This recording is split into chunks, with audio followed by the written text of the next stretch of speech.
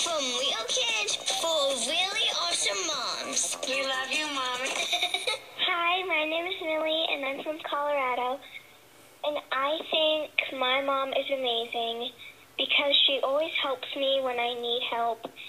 And every time I fall off my bike, she helps me get back up. And I just think my mom is really amazing.